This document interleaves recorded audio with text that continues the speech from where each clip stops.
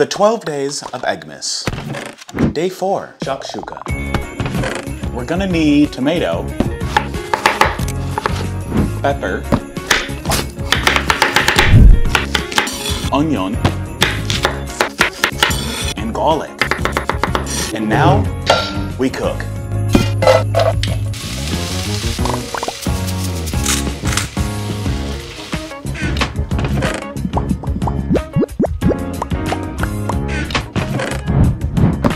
Shakshuka. And to eat it, we're just gonna get some naan, dip it in that luscious egg, and give it a taste. Mm, I love egg. Light, flavorful, and healthy. I'll give shakshuka a 9 out of 10.